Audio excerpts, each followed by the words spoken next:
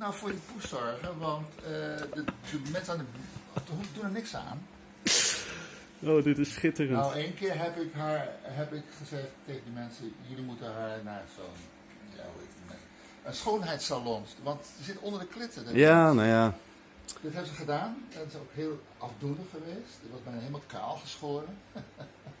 Ik ja, ik kan nu weer een jaar tegen.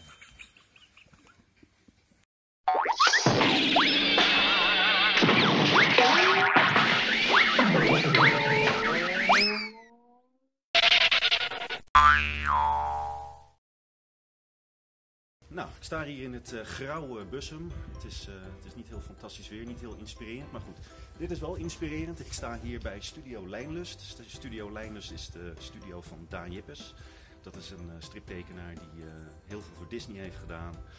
En aangezien ik de, eigenlijk net ben begonnen om wat dingetjes voor Disney te doen, van wie kan ik dat beter leren dan Daan Jippes. Dus nou, we gaan tegelijk ook eventjes kijken achter de schermen bij hem.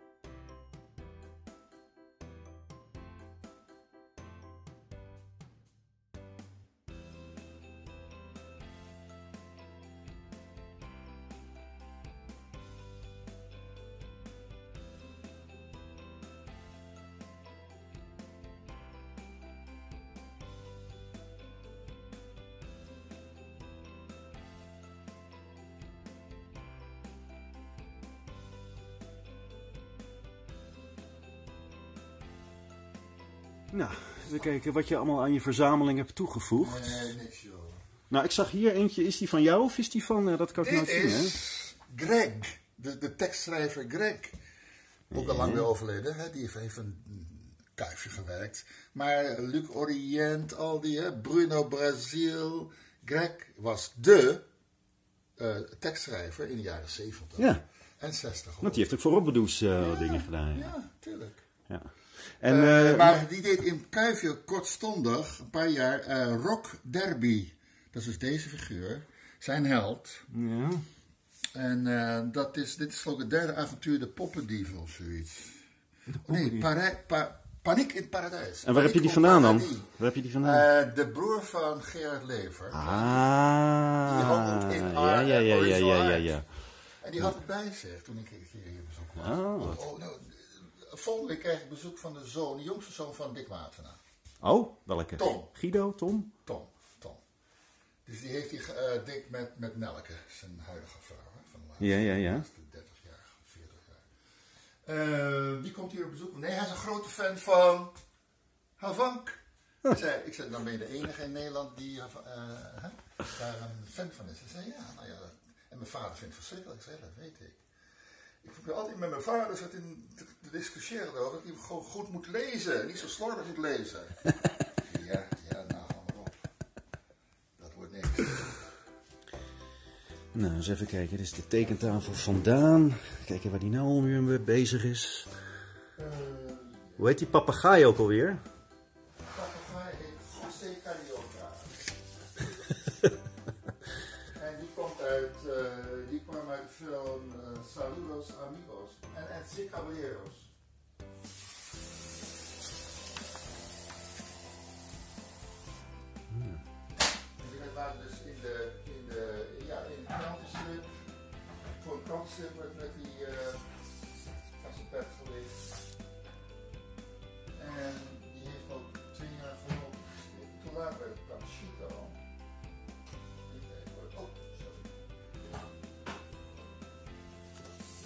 Die eh, dinges heb je al af. Die, eh eh, waar, je toen aan werkte, die, die broer konijn.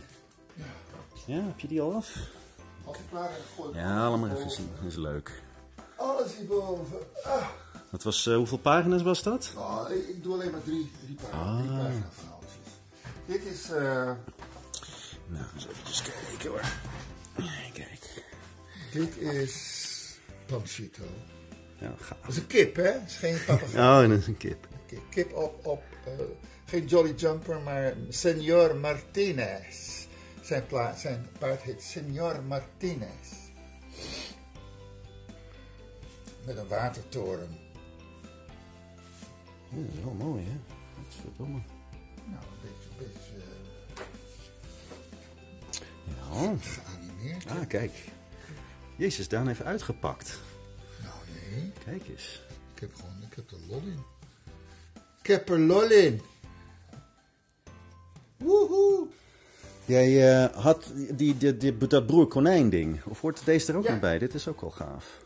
Ja, broer konijn ding is dit. Oh ja. Ah, waarin dus... Ze zijn verborgen in een korensgolf. Waarom? Omdat ernaast ligt een wortelveld. En ze verwachten elk moment weer, zoals elke avond, broer konijn worteltjes te stelen. Waardoor ze een broer konijn kunnen pakken. Dat is weer een opzet. Heftig. Je Plemt het wel helemaal vol, hè? En er moet, en er moet ook nog tekst bij. Ja. Ze hebben een meningsverschil. Terwijl ze godverdomme hun, hun bek moeten houden, anders gaat broer Konijn hun straks zien. Ze verraden zichzelf. Dus, dat is de grap, dat is de geheim.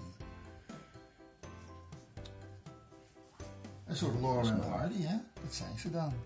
Ze, ze, kunnen elkaar, ze moeten samen optrekken om iets gedaan te krijgen, maar ze kunnen elkaar niet, niet uitstaan. Nee, nee, nee. Niet uitstaan. Kijk. Kijk, en nou zien we eindelijk broer Konijn.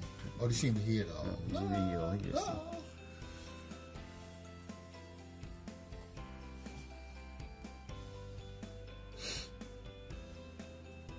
Hmm. Ja, wel mooi.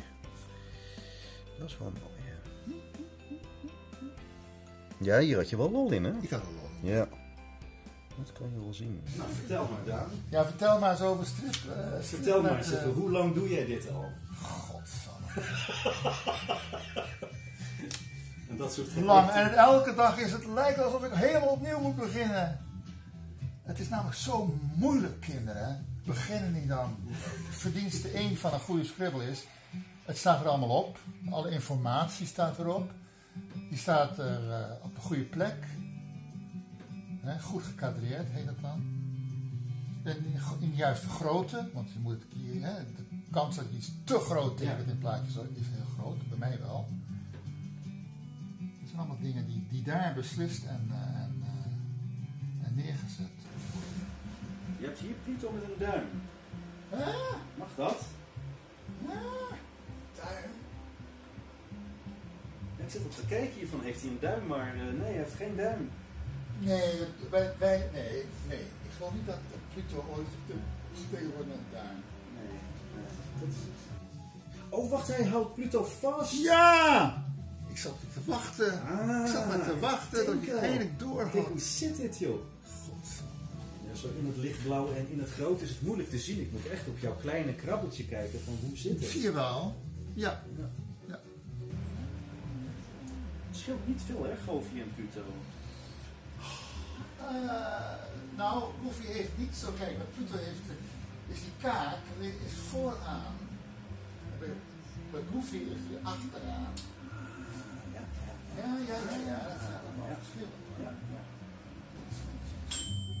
En jij doet die onomatopeeën, doe je, die ram je er gewoon zelf in. Dus je- heb je niet zoiets van, eh, voor de Engelse markt ga ik dat, eh, dat met een C doen. Engelse.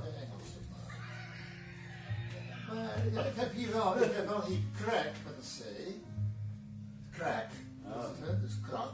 Maar, ja, Maar daar gaan ze niet moeilijk over doen. gaat niet moeilijk over doen. die gekke dingen bij die oren. Zoals? Die bultjes bij, die, bij het begin van die oren. Deze heeft het dan niet. Ja, ja, ja. Nou ja, de, die zwarte oren die steken dus in die kop. En dat is een soort, een soort verdikking in de huid. Ja. Ja.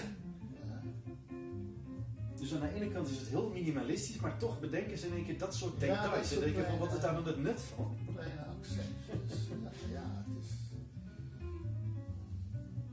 Het zijn vaak die kleine dingen die je net geloofwaardig maken. Ah, Ja, kijk. Ja, ja, ja, ja, ja, ja.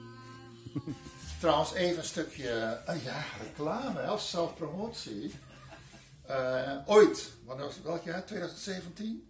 Is dit boek, prachtige boek, uitgekomen. Eh, ter, ter gelegenheid van mijn tentoonstelling in het ja, ter ziele gegaande stripmuseum. In In Groningen. In, nee, Oh. in, in, in Groningen. Maar tegenwoordig is het ondergebracht, ondergebracht gebracht bij Story World in het grote forum op eh, de markt van Groningen, onder de Martini-toren. ja. Ja, dat is je boek. dus dit is het boek Avonturier in strip en animatie. En Ja. Dat zijn de twee gebieden waarop. Nou, dan gaan we eventjes zo over Zo de- even, jouw... zo even zo een- een doorheen bladeren. Zo, kijk eens wat het allemaal niet te bieden heeft. Het hele scala aan mijn, eh, ja, mijn werkterrein. Hè? Dat is de komische strip, dus soms de, de, de funny animal strip. En dan animatie, zoals we hier even langs zien komen. Bros, Disney Zelfs al een foto met, met de grote André Franka hier. Met zijn vrouw. Die bezochten toen de Disney Studios. En dan was ik bezig met eh, Aladdin. Aladdin. Storyboarden. En wat deed Frank nou precies? Toen was hij natuurlijk, eh, ja, hij, hij deed geen Gust meer. Af en toe eens één keer in de half jaar eh, deed hij Gust. Maar hij was toen gewoon in Amerika omdat hij een gesprek of een handtekening moest zetten eh, onder een contract met Disney. Disney Noord-Amerika. Met de marsupilami niet? Met de marsupilami. Ja, ja, ja, ja, ja. Gauw even jongens, zo er tussendoor. Hè, al die dingen die ik toen allemaal in mijn leven gedaan heb. Leuke dingen. Strips, animatie, Disney, veel Disney. Want uiteindelijk ja, ja. mij dat. Hier Pep Spotters. Met Pep Spotters, Pep, leuk weekblad, ter ziele gegaan. Mijn jeugdwerk ook nog. Ook nog. Ja, ja, ja, jeugdwerk. Ja, Kijk, zelfs met mijn dan. allereerste strips. Allemaal, ja, duidelijk. eh, hè? eh, Nero, Suske en Wiske. Dit was een beetje Guus Slim, hè, uit Ja. Robbedoes. Ja. Dit is ook mijn Guust. Ha! Mijn Guust. Hoe is het mogelijk, Ja. hè? Dus, en ja, het is een prijskaartje van 25 euro. 25 euro? Ze- 25 euro, fantastisch leuk boek. Nou, we zetten de link eh, van Ja. eh, dit boek eh, onderaan deze video. Ja, Dat je hem is zo bij kan mij te kopen. bestellen. Oh, nou, kijk eens, dan krijg je hem nog gesigneerd ook. Is met een zogenaamde dedicaas. Een dedicaas. Dat betekent eigenlijk dat ik hier een Ja. tekening maak. Hè, gericht aan, de, persoonlijk gericht aan de, de koper van mijn boek. Kijk. Prachtig, That's it. prachtig. Nou, En dat, dat kan je dan af, eh, af oh, yes, je kan het afzien, afkijken, moet ik zeggen. Op, op jouw Op YouTube, ja. op YouTube. Als je dat dan even gaat uh, zoekdinges uh, op... Uh, Nou ja, wat, wat zou je moeten zoeken? Daniel van den Broek, podcast? Exact zo heet het. Dat kan niet missen.